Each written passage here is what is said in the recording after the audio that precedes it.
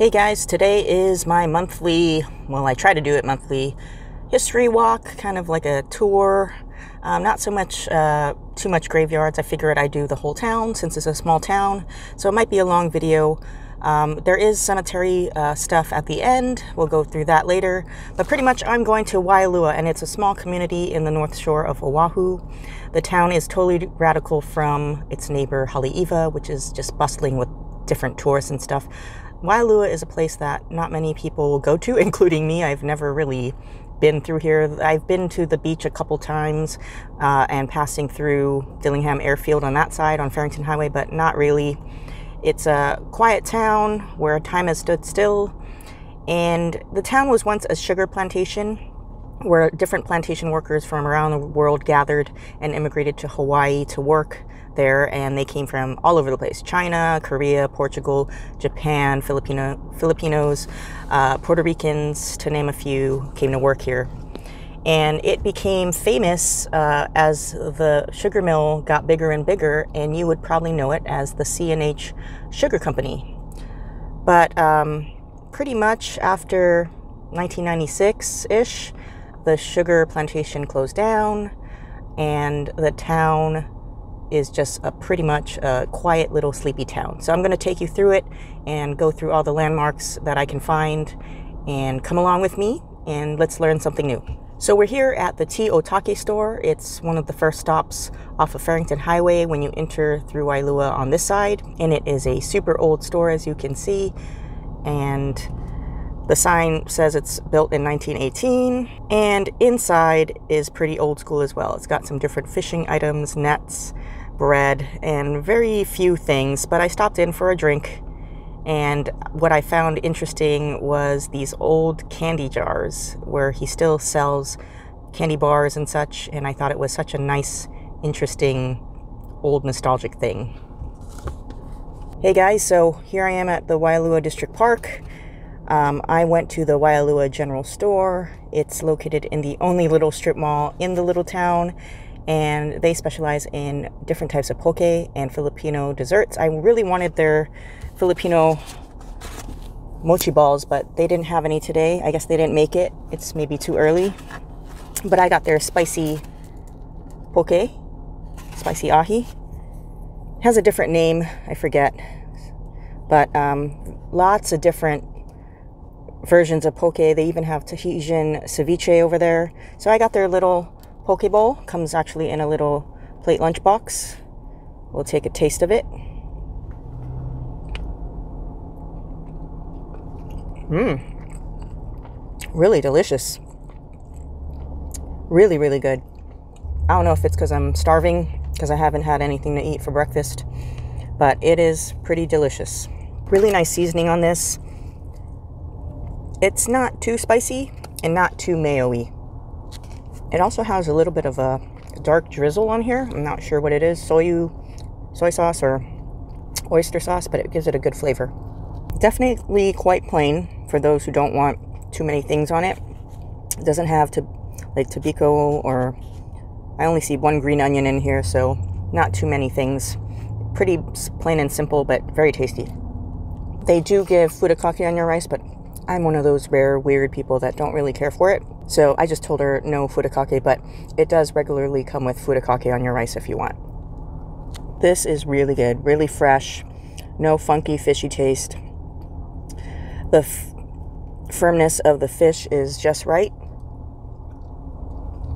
what poke should taste like. It's not grizzly or tough, yet not too mushy.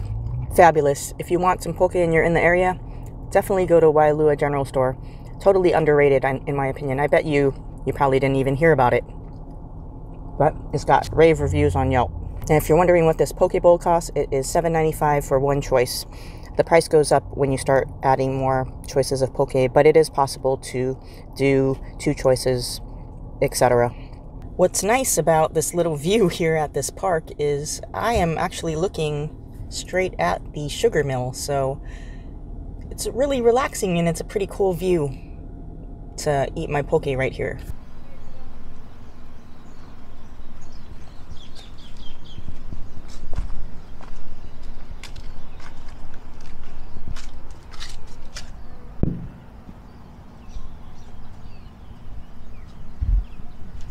So this is the old Bank of Hawaii. It's no longer used. It's all boarded up, but I like the architecture of it and it's still standing. I guess that used to be a sign, but it fell apart, this metal pole right here. But really interesting, it's right next to the Waialua General Store, if you're interested, near the library. So across the library right here is the old sugar mill. So I don't know if you can see the sign but here is the old Waialua sugar mill. Now it's no longer in service, but afar there. They have converted it into little stores. There's like a soap shop and some shave ice and a co-op farmer's market. So we'll go in there and check out what they have. So here is one of the old sugar mill stacks. And that is the North Shore Soap Company Here's a surf shop and the Waialua Coffee Company is over there. So this whole place used to be the sugar mill where they would produce the sugar. We'll go take a look in this soap store. So these are some gears that were used during the times of the plantation. I guess they saved them. They're amazingly huge. Wow. that's one of the stacks. Over here, it's a nice mural for the Waialua Sugar Mill. And these are the original buildings still standing. You see all this rusty tin roofs and that smokestack up there. It's surprising that it's still standing. And then all the other buildings back there that were part of the mill and then this is the soap factory. You can actually walk up to it and touch this old piece of history. And this also has a tin roof, super old school. And I guess, I don't know what this is, like a vent where the air would come out when they made sugar. So we will go check out some soaps here at the North Shore Soap Factory and see what they got.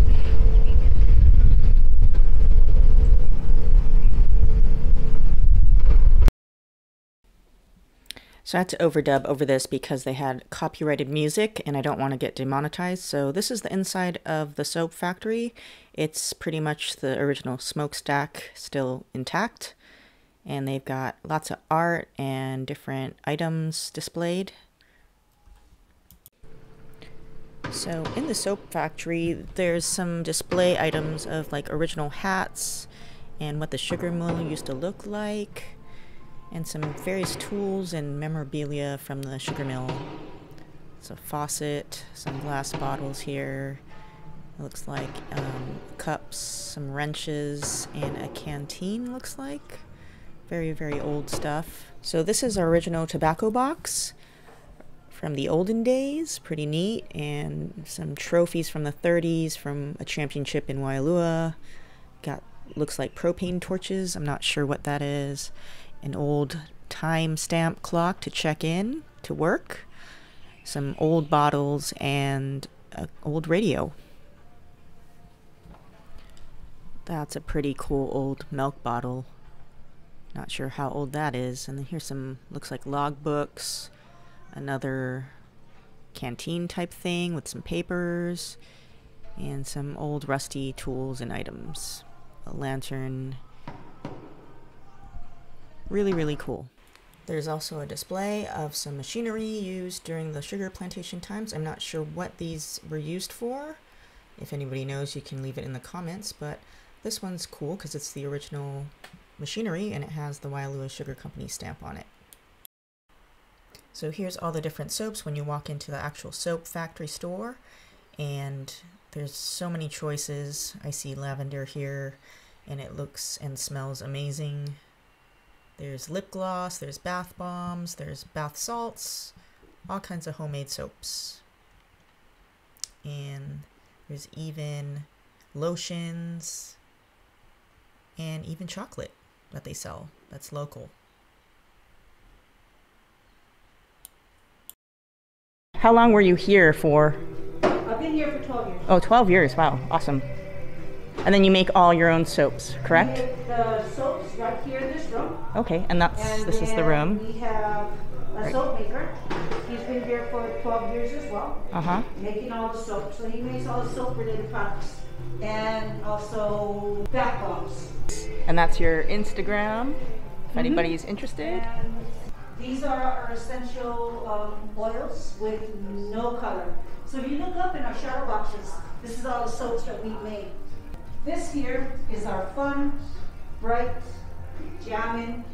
It has fragrances and mica. So, but all of them we make here. Right there in the room, we use the drill press. It's all cold processed. We do use lye.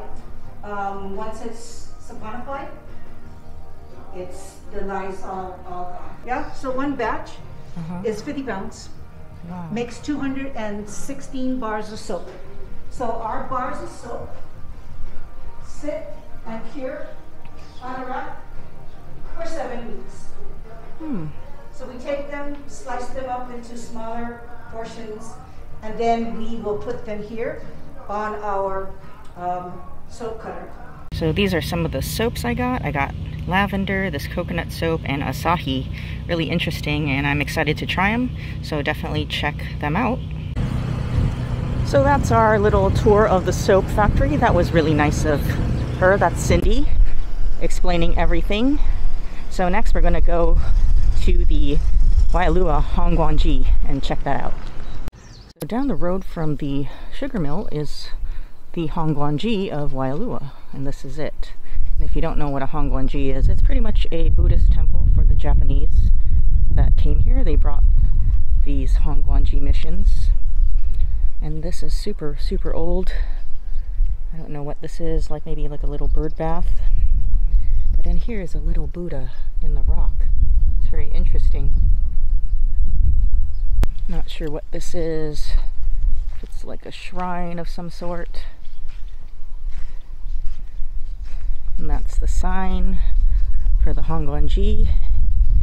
And as you can tell by the sign, it is super, super old.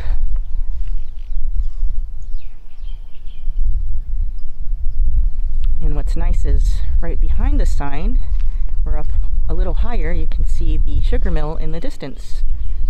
It's a really, really pretty picture. This old house, you can see, has the style of Japanese architecture with the roof that kind of curves towards the end. And here is like a little sitting area made out of tin roof, probably from that era of the plantation days. Look at the rust on it. Very, very old and nostalgic. You would sit here, and I guess it is nice. It's nice and breezy right now. It cools you off, shades you. And this is the temple. And just the architecture, the shingles on the roof, the design at the top. Really, really old. I like the pillars. And here's a little bit of, I don't know if you can see them. This camera doesn't really catch it because it's a wide angle. But there are little finches up there in the rafters right next to this bell. There they are, all these finches. They're flying away. There's that bell. And facing the roadway is this big bell.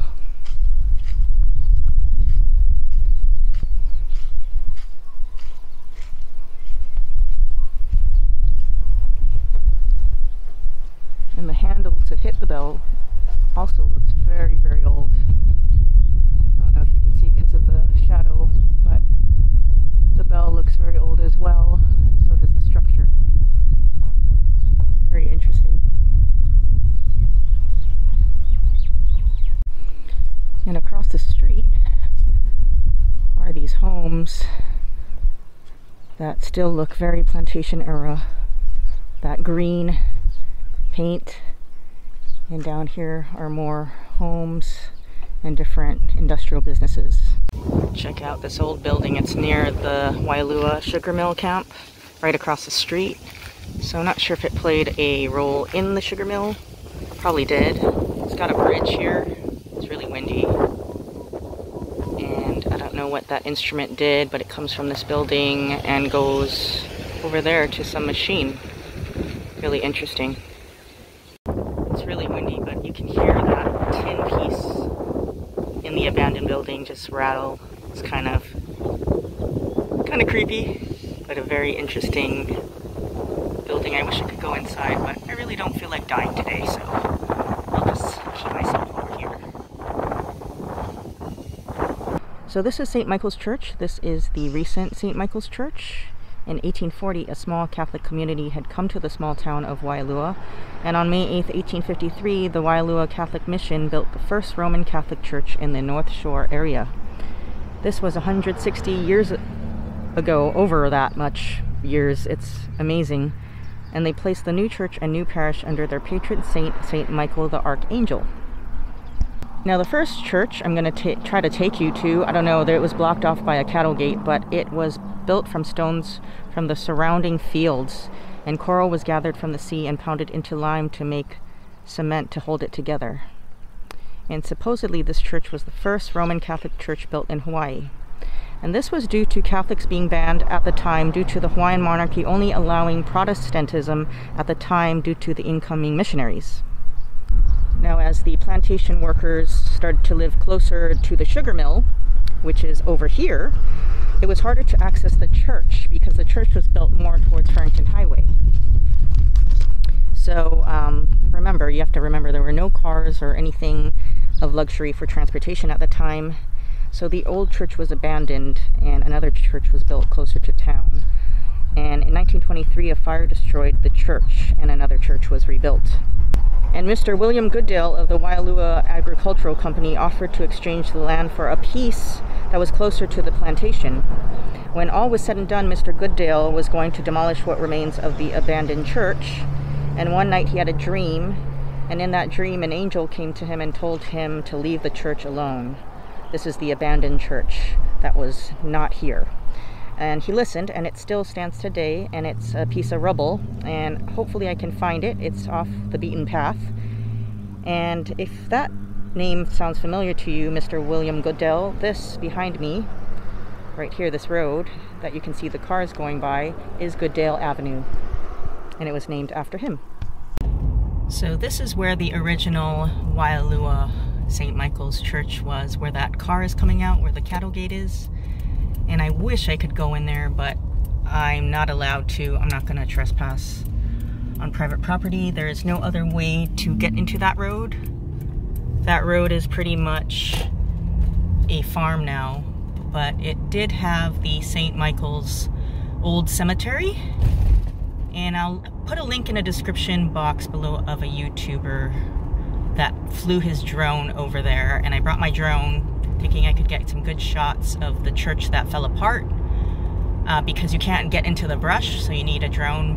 Uh, but unfortunately, can't do it. Totally ruined my plans, but go check out that video in my description box below to see what it really looked like.